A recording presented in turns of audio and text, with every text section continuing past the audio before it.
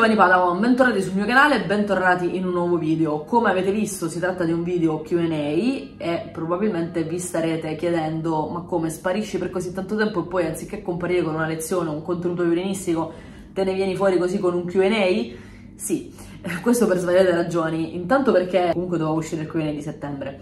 e poi perché avrete notato sono stata assente per uh, un periodo molto più lungo rispetto ai, ai miei standard e questo è dipeso da una serie di vicissitudini familiari abbastanza importanti, ma avevo voglia di tornare, avevo voglia di riprendere e mi sembrava il modo più semplice per farlo. Sono successe un po' di cose, quindi eh, la, la, ragione della mia assenza è legata al fatto che appunto sono successe delle cose di cui ho parlato in un video dedicato agli abbonati. Eh, la ragione per cui non ne parlo pubblicamente è che eh, credo che sia poco necessario, mi sembrava corretto dare una spiegazione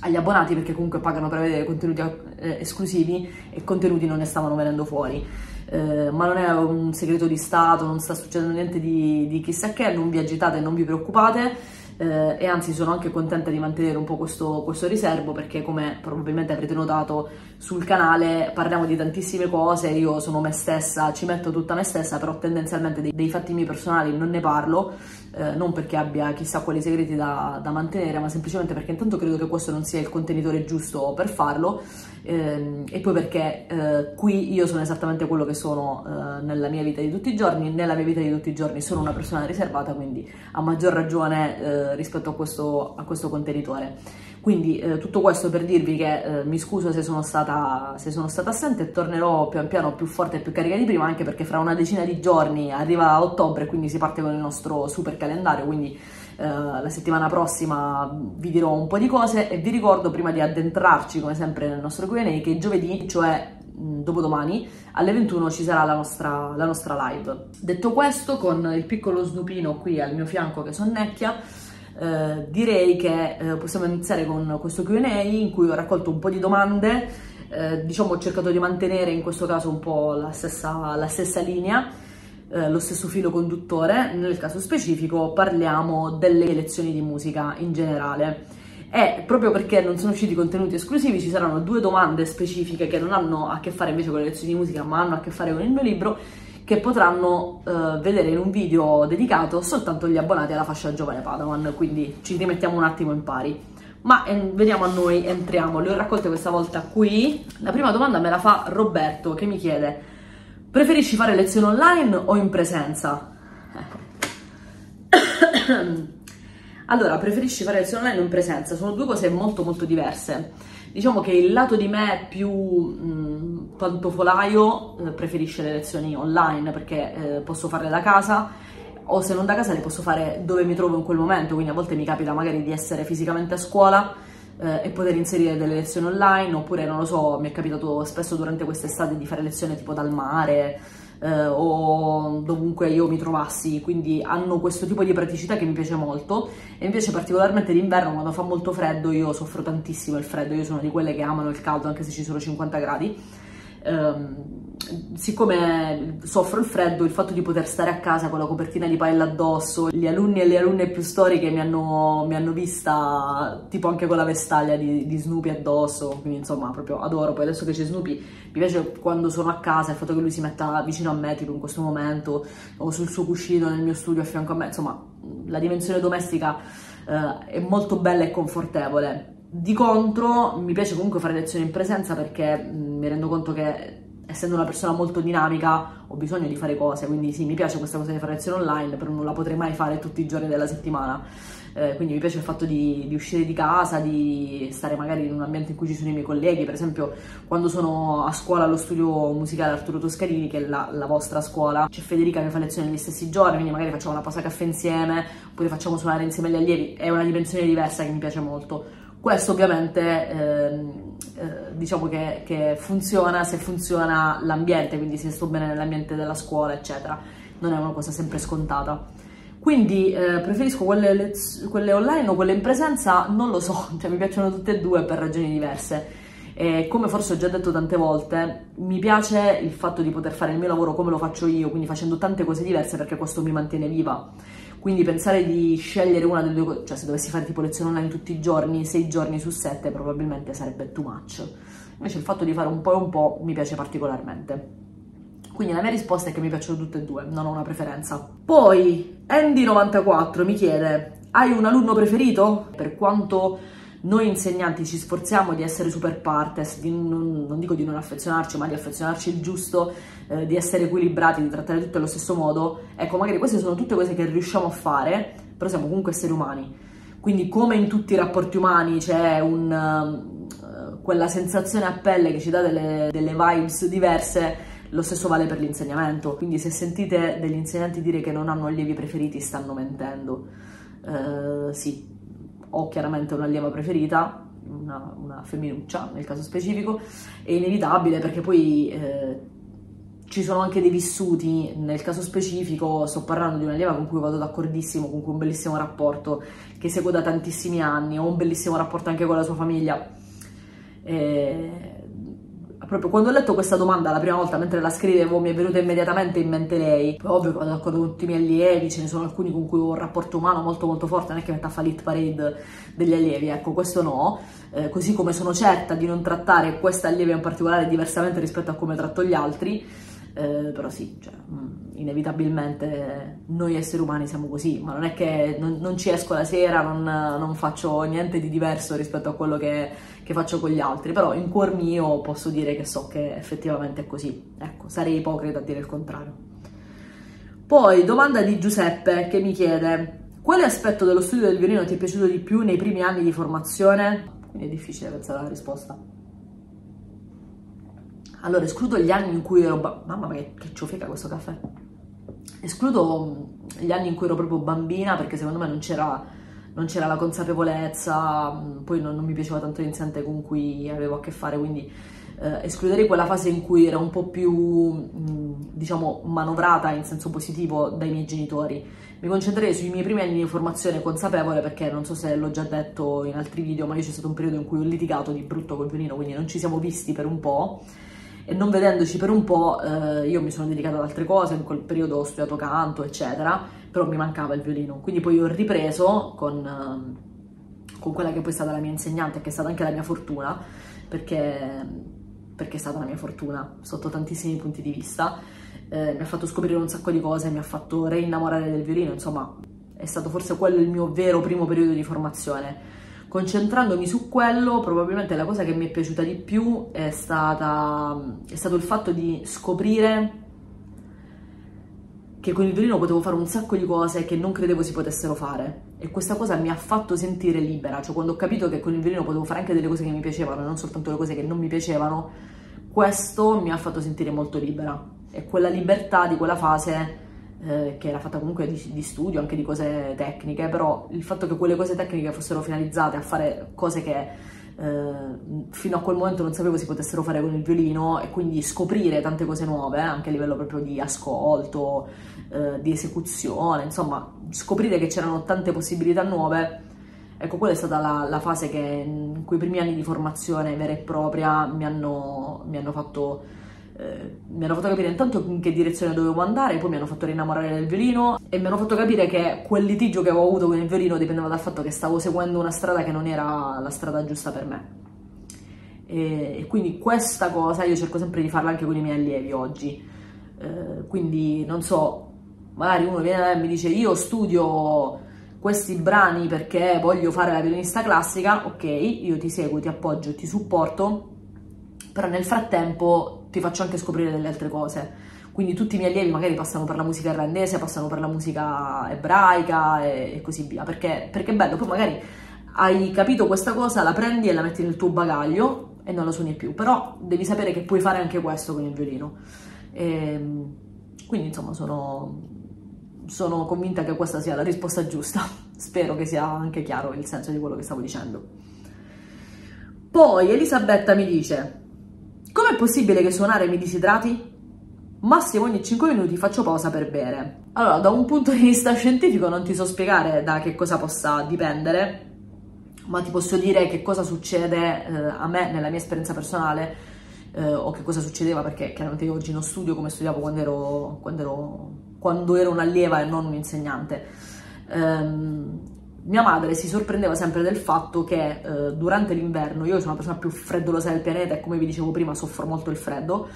ehm, durante l'inverno quando lei entrava in camera mi trovava con, eh, in canottiera a studiare violino in canottiera. Mi diceva, ma è possibile? Tu c'hai sempre freddo, stai sempre con 50.000 maglie e poi quando suoni sudi. Eh, fare un'attività musicale come, come quella del violino è un'attività fisica a tutti gli effetti Dico in particolare il violino, ma credo che valga per tutti gli strumenti, ma eh, io sono esperta di violino, quindi parlo di questo. Eh, in particolare con il violino utilizziamo un sacco di muscoli. Poi il violino noi siamo tutti storti, quindi entrano in campo una serie di fattori. Ora io non so se tu ti riferisci all'estate, a, all'inverno o quello che sia, però credo che come tutte le attività fisiche ci faccia bruciare e quindi nel momento in cui bruciamo poi abbiamo bisogno di reintegrare quei liquidi. E tu mi dici ogni 5 minuti fai pausa per bere, alla fine bere fa bene, per cui di che ci preoccupiamo? Se ne hai bisogno, hai questa esigenza, vuol dire che evidentemente consumi tanto mentre suoni. E il consumare tanto, tra le altre cose, non è soltanto una questione fisica, ma è anche una questione mentale. Cioè il violino richiede, il violino come tutti gli strumenti, richiede una concentrazione e un'attenzione in termini proprio mentali molto molto importante. E a volte ci capita, questo l'avrete sicuramente notato, di uh, studiare o di suonare con la testa da un'altra parte. La testa da un'altra parte è nemica della buona riuscita di quello che si sta facendo e quindi eh, se, se, vale questo per la buona riuscita, figuriamoci quanto al contrario, quindi quanto la buona concentrazione contribuisca a farci entrare dentro quello che stiamo facendo e quindi nel tuo caso Elisabetta bruciare liquidi, nel mio caso per esempio a emanare calore e così via. Quindi io non mi preoccuperei, insomma, fino a che la conseguenza è solo che devi bere acqua va bene eh, se ti dovesse venire in mente di bere altro, potrebbe andare bene comunque, chi lo sa. Chi sono io per impedirtelo? E andiamo avanti, questa è un'altra domanda di Andy94 che dice ti pesa mai fare lezione? C'è qualche allievo con cui ti stanchi o ti scocci e ti fa passare la voglia? Sì, sì,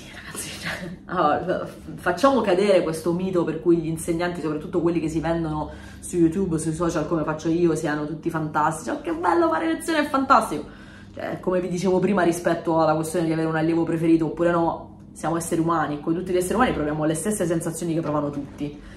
Ehm, a me ha sempre fatto ridere, non so se vi capita mai tipo sui social di vedere la foto della persona X sul posto di lavoro che dice fai il lavoro che ti piace e non lavorerai neanche un giorno nella tua vita. Secondo me non è così. Eh, io faccio un lavoro che mi piace da morire e che non cambierei con nessun altro lavoro al mondo,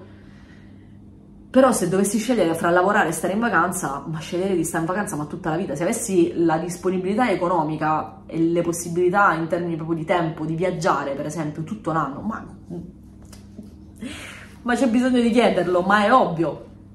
Questo però non significa che il mio lavoro non mi piaccia. Il fatto poi che mi piaccia il mio lavoro non significa che mi debbano necessariamente stare simpatici tutti i miei allievi o che mi debbano stare simpatici tutti allo stesso modo. Eh, purtroppo mi capita nel mio cammino di incontrare diversi allievi che sono sgradevoli e quindi questo comporta che, eh, che io magari mi stufi quando devo fare lezione. Questo non significa che coscienziosamente io non mi ci impegno lo stesso, anzi mi ci impegno probabilmente il doppio eh, però succede, cioè, credo che sia, che sia, inevitabile, insomma, eh, soprattutto rispetto al, alla parte relativa alla stanchezza, ci sono dei periodi in cui eh, magari sono particolarmente stanca, che ne so, in prossimità dei saggi per esempio, e quindi fare lezione anche alla mia allieva preferita mi pesa comunque perché sono stanca. Eh, ma credo che sia una cosa assolutamente umana che capita in tutti i mestieri, non soltanto nel mio. Allievi che mi fanno passare la voglia? Sì, ne ho, eh, perché ci sono degli allievi che sono... Magari mi viene in mente soprattutto i bambini, i ragazzini, ci sono degli allievi che sono oggi che sono molto maleducati, che pensano di sapere tutto, che pensano eh, che sia una perdita di tempo fare violino e quindi perché vieni a fare violino? Perché ti manda mamma? non lo voglio fare io, ma comunque mi scoccio. Cioè, quando ti, ti, danno queste risposte, è ovvio che poi a me passa voglia di fare lezione, però lo faccio lo stesso, anzi come dicevo ci metto il triplo dell'impegno, però purtroppo tant'è. A volte mi capita anche che forse la cosa che mi piace di più di questo mestiere a oggi,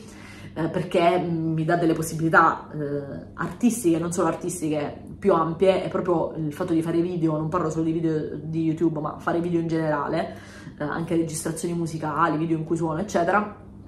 e anche in quel settore spesso e volentieri non c'ho voglia. Può capitare, come è capitato in questo periodo, mi sono successe delle cose a livello familiare, non ero non avevo la testa, eh, dovevo pensare ad altro e anche quando non avevo da pensare ad altro, magari non avevo voglia perché non ero nel mood giusto e non ho girato video, per esempio. Insomma, mm, esseri umani. Miki,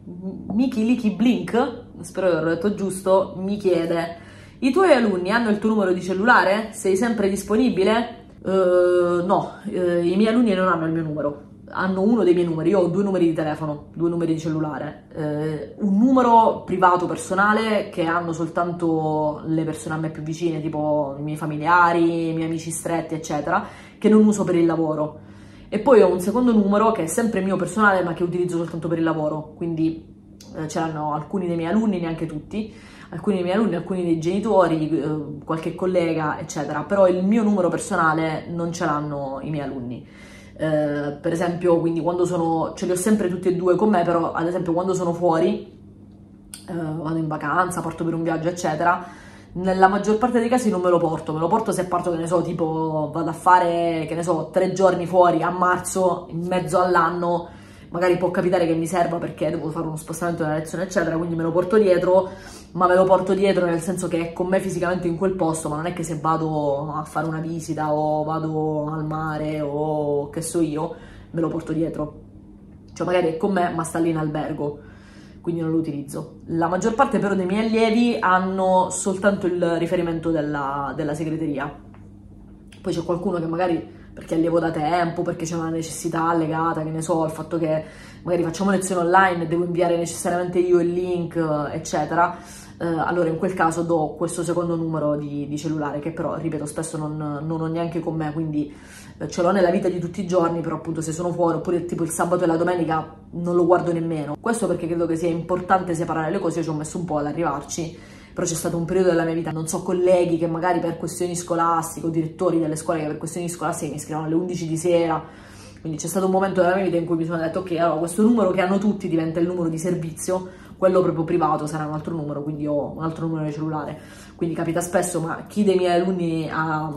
ha il mio numero lo sa, capita spesso che magari mi arriva un messaggio e io rispondo tipo due giorni dopo, tre giorni dopo, magari per esempio adesso sono stata, sono stata in Austria eh, avevo dietro questo numero ma non lo guardavo mai quindi eh, non, cioè, l'ho lasciato in albergo è rimasto nella cassaforte dell'albergo l'ho ripreso tipo l'ultimo giorno quindi ce l'avevo giusto così per, per, emergenza la sera controllavo ma se magari c'erano messaggi in cui mi dicevano allora a che ora facciamo lezione Beh, mm, è, sabato, è domenica, mm, scrive alla segreteria, no? se c'è la necessità, ecco, non so se, se, mi sono spiegata. È una cosa che ritengo necessaria per una questione di vita, di serenità di vita quotidiana. Allora, user 96-41 bla bla bla scrive Cosa pensa la tua famiglia del tuo lavoro e di YouTube? Mm, sono tutti molto felici di quello che faccio. Um, quando ho finito la scuola e ho detto voglio fare la musicista, c'è stato un attimo di oh, calma, parliamone, pensiamoci. Eh, infatti per un periodo mi sono anche iscritta all'università, alla giurisprudenza nel caso specifico, poi ho lasciato, mi sono iscritta ad altro, ho fatto delle cose musicali e ci è voluto però del tempo perché questa cosa che volevo concentrarmi al 100% sulla musica fosse capita non perché non la rispettassero ma perché temevano che potessi riuscire in questo lavoro con, con difficoltà. Eh, poi diciamo che hanno capito che, che, quella era la mia strada, quindi ho lasciato giurisprudenza, mi sono, mi sono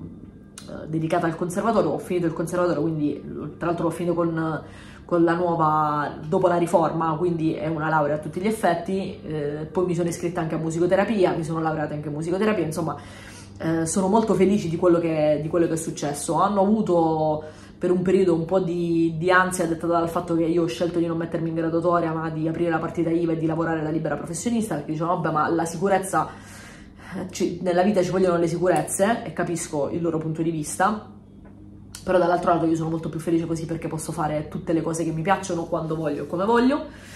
e adesso lo, lo, capiscono un pochino di più. Di YouTube mm, sono contenti nel senso che ci hanno messo un po' a capire che cosa fosse e come funzionasse, poi si sono iscritti al canale, ehm, sanno che è una cosa alla quale dedico del tempo, adesso cominciano a capire ancora di più quanto tempo ci dedichi perché come sapete il canale è stato monetizzato, ci sono gli abbonamenti, insomma sono successe una serie di cose per cui sta diventando una cosa concreta e anche se è concreta pochissimo perché per il momento veramente i guadagni sono, sono irrisori, però è una cosa che comunque fa, dà un senso a quello che faccio e quindi loro eh, approvano assolutamente. Eh, non so fino a che punto hanno capito quanto stia andando bene questa cosa, ma credo che con il tempo la capiranno, la capiranno sempre di più perché grazie a voi il canale è sempre più in crescita, quindi insomma credo che, che darò soddisfazioni ulteriori. Poi Cili di Verbang scrive: Che ne pensi dei recuperi delle lezioni? Sei pro o contro? Allora, come massima, come concetto proprio generale, sono contraria però eh, io credo che nella vita eh, serva elasticità, quindi io sono quella che insiste nelle varie strutture in cui lavoro per specificare che non si recuperano gli incontri persi, però poi li faccio recuperare. Quindi voi mi direte, ma sei matta? No. E che faccio, ehm, faccio un ragionamento molto semplice, e cioè se ho la possibilità di fare il recupero e facciamo il recupero, è una cosa che faccio perché è un gesto di gentilezza, non deve diventare una cosa scontata, numero uno, perché poi è un attimo approfittarsene. E numero due, cosa ancora più importante, la regola ci deve essere perché è importante che le persone capiscano che non ci si può marciare su questa cosa eh, lo dico perché purtroppo ho avuto questa esperienza, cioè chi ha la tendenza ad assentarsi, a non avvisare, ad avvisare all'ultimo minuto, eccetera, deve imparare intanto che c'è il rispetto. Per cui se tu mi avvisi alle 7.10 che non farai lezione e la lezione era alle 7, devi capire che io comunque quel tempo l'ho dedicato a te, non lo posso recuperare in altro modo. Quindi è anche giusto che tu paghi per quel tempo. Eh, e poi è importante che capisca che eh, non può diventare un'abitudine Oggi sono le persone che vengono sempre a lezione e si assentano una volta, se mi avvisano 5 minuti prima non me ne frega niente perché capisco che c'è effettivamente una reale emergenza. Ma a me è capitato anche che mi chiamassero da, che ne so, dal matrimonio. Scusa, mi sono dimenticata di dirti che la bambina oggi non può venire a lezione perché siamo a un matrimonio, ma la, la lezione della bambina era tre ore fa. E poi magari quella bambina è una bambina che guarda un po' il caso fa tre assenze al mese. Allora, un conto è che io ti debba far recuperare una lezione ogni tanto, un conto è che ti devo far recuperare tre lezioni su quattro ogni mese. Diventa un problema. Diventa un problema perché poi c'è anche l'esigenza di recuperare quando dico io, come dico io, eh, agli orari che dico io, alle mie condizioni. Quindi, in generale, alla luce di tutto questo, io sono contraria. Però sono una persona estremamente elastica. Per cui, per esempio, chi fa lezione con me sa che nel regolamento della scuola c'è scritto che le lezioni perse non si recuperano, le lezioni perse dagli allievi non si recuperano però eh, sfido uno qualsiasi dei miei allievi che stanno sicuramente guardando questo video a scrivere qui sotto eh, ma tu non mi hai fatto recuperare la lezione tutti hanno sempre recuperato perché sono tutte persone estremamente corrette. Poi certo può capitare che magari eh, in un mese si assentino come dicevo prima tre volte perché ci sono le esigenze particolari e me lo dicono prima che tre lezioni per recuperare sono difficili. Io poi massima disponibilità magari il mese dopo ne facciamo 5 il mese successivo ne facciamo di nuovo 5 più di questo non si può fare, però sempre massima disponibilità, quando c'è rispetto reciproco, perché questa cosa per me è, è fondamentale, assolutamente fondamentale. Invece, al contrario, recupero sempre le lezioni che gli allievi perdono per colpa mia, perché comunque il fatto che mi assenti io, che significa che paghi lo stesso, non, non, avrebbe, non, avrebbe, senso. Anche in quel caso mi piacerebbe che ci fosse elasticità, non dico nel contesto delle lezioni individuali di strumento, però ci sono dei contesti in cui secondo me l'elasticità dovrebbe essere reciproca. Vi faccio proprio un esempio scemissimo, ma che rende l'idea. Qualche anno fa facevo un progetto di musica in una scuola in cui i bambini pagavano 5 euro al mese per quattro incontri, perché erano collettivi, no? quindi c'erano tanti bambini insieme. 5 euro al mese, cioè significa 1,25 euro a lezione e eh, siccome era un progetto in cui non, non, ero io ad organizzarlo, ma una delle scuole in cui insegnavo aveva fatto questa convenzione con questa scuola primaria, eh, si era stabilito che io andavo in questa scuola, adesso non ricordo il giorno, diciamo tipo tutti i mercoledì del mese. Quindi succedeva che a volte c'erano tipo 5 mercoledì in un mese, quindi io andavo 5 volte. Nel caso specifico, questa cosa è successa proprio nel 2021. Eh, io vado a febbraio, faccio 5 lezioni, vado a marzo, faccio 5 lezioni, quindi loro in due mesi hanno fatto 10 lezioni, pagando comunque 5 euro, quindi un euro a lezione. Ad aprile io prendo il Covid e salto una settimana, una sola settimana. Una solo una rappresentante di classe, però di tante classi, mi scrive dicendomi, quindi che facciamo? Portiamo 4 euro anziché 5? E io in quel caso io va benissimo, cioè nel senso capisco che tu voglia pagare di meno perché ho fatto una lezione, però mi viene a dire questa cosa di togliere un euro, un euro, no, non 50 euro, un euro. Vuoi togliere un euro dopo che per due mesi io ti ho fatto 10 lezioni anziché 4? Per una volta che mi assento io. Ecco, in quel caso mi sarebbe piaciuto che ci fosse un po' di elasticità reciproca. E quindi a volte eh, bisogna essere un po' severi, un po' rigidi nelle cose scritte, in modo tale che tu sai che qua c'è scritta sta cosa e tu la stai accettando all'inizio del percorso. Infatti anche chi è iscritto alle mie lezioni online accetta un regolamento che è il regolamento interno della scuola. Non ci sono se, non ci sono ma, quello è il regolamento, punto e basta. Poi ovviamente ci vuole elasticità nelle cose, io cerco sempre di essere molto elastica laddove è possibile, però sempre nel rispetto reciproco. Ultima domanda, ti capita mai di distrarti durante le lezioni? Questa la fa Andrea.